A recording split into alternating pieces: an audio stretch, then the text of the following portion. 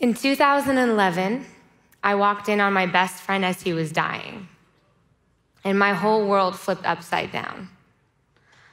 Not only was I sad and depressed, but I began to question God and why things happened the way they did. By fall 2012, I'd quit my job and I was trying to figure it out. I found myself sitting in a coffee shop with a friend who was devastated because her cousin was suddenly killed. She told me that the people of Syria began to stand together, rise, and peacefully protest for their voice and right to speak freely in their home country. She told me that her cousin was courageous enough to stand alongside his friends, peacefully protest, but hours later, his head was cut off and placed on the doorstep of his family's home. I couldn't believe this.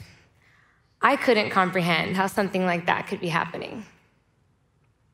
But I did remember the writings of Abdu'l Baha when he said, The people of this world are thinking of warfare. You must be peacemakers. So I began researching, started my own personal blog, fundraised, and booked a round trip flight to Turkey. I knew I needed to tell my parents, so I called my dad to meet with him face to face. I would have never anticipated for him to say, I would do the same thing. Don't tell your mother I said that.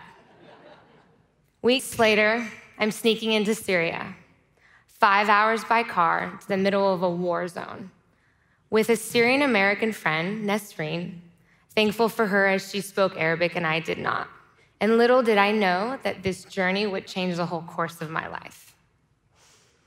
By the time we reached our destination, it was pitch dark.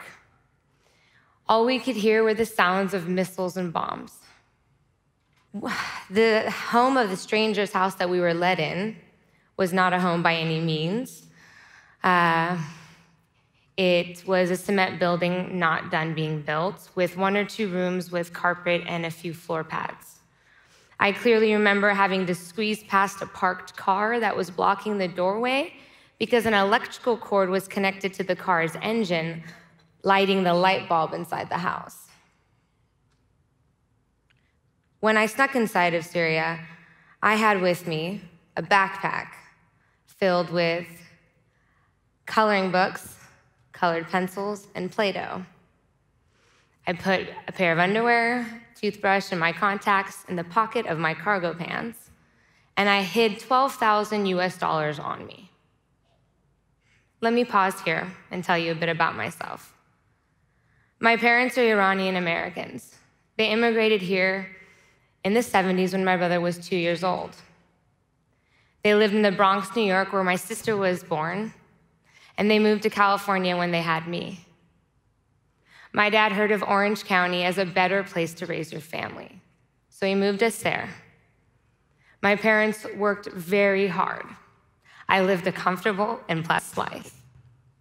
So it's not so surprising that when I told my friends that I was sneaking inside of Syria, a war zone, a developing country, while over half the population of this country were fleeing their country, I was met with disapproval, frustration, and confusion.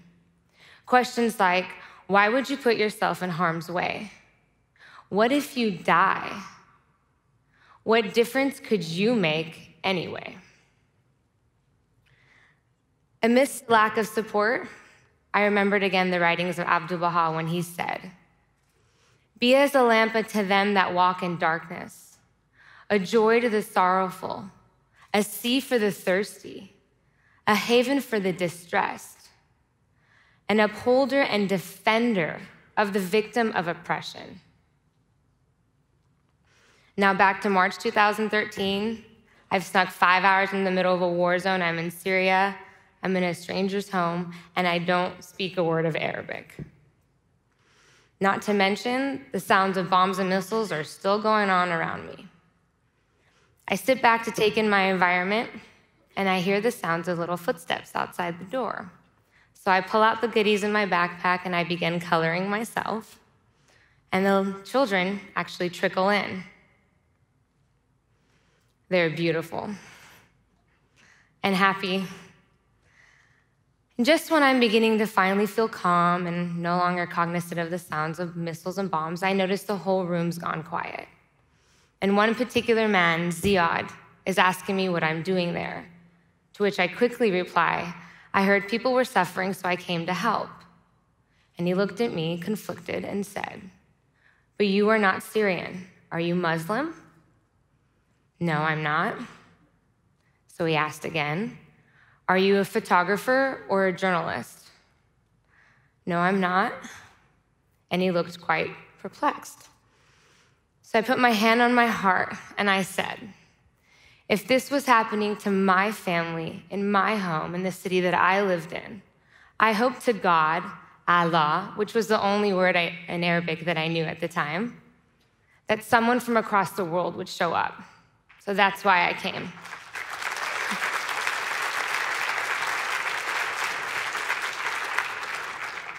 By the following morning, we'd exchanged US dollars to Syrian pounds, bought food in bulk, handmade food bags, and distributed to people living in parking lot sized dirt holes. Parking lot sized dirt holes. Families of 8 to 15, living without electricity, running water, nothing. Nesreen and I split up one time. She went to go distribute food bags. I stayed back to continue bagging food. And although I was used to the bombs and missiles at this point, the men in the room began suddenly yelling, Yalla, yalla, hurry, hurry, as they escorted me out. No one should see what I saw at this moment in my life. It was disarray, blood, people were running around, cars were getting people to places as they were pulling me to an underground room where all the women and children of this village were all of which were crying, and I couldn't communicate to anyone. So I just waited. A couple minutes felt like hours. And then I heard Nesreen show up with the other group calling my name, Puneh, Puneh. So I went out to meet her. And she's like, I thought you were dead. I thought you were dead. And I said, Nesreen, we have to leave. That happened because they know we're here. We have to go. Hours later, we were taken to the border. I crossed, and a week later, I'm back home but I knew something needed to be done on a larger scale. So I started For the Unseen, a 501c3 nonprofit focused on creating sustainable solutions to alleviate human suffering and to spread the message of one human race. I went back to Syria doing immediate aid work three more times that year, but it wasn't sustainable. I heard of Mustafa, a Syrian refugee living in Tripoli, Lebanon, and together we started a school called Birds of Hope. Classes are taught grades one through nine for the children. They're all Syrian refugees. Subjects such as math, Arabic, art, physical education, science. The mission of this school is to teach every student that even though they've endured psychological trauma, that they can be agents of change for something better and more positive. Originally, we had enrolled 350 students, and to date, we have nearly 3,000.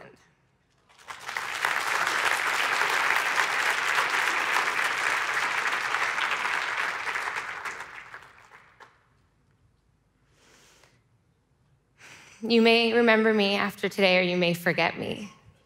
You may take something from what I've shared, or you may not. But I do ask this to ask yourselves privately how do you live your life day to day? Do you live it with peace and unconditional love? Do you live it in doing an act of service for another, especially a stranger? To those of you that speak English in this room, you can teach English via Skype to a Syrian refugee and give them a future. You can donate your time to a local organization. The resources are endless. I encourage you to live with your hearts open, to respond with love, and to actively make a difference because you can and anyone can. Thank you.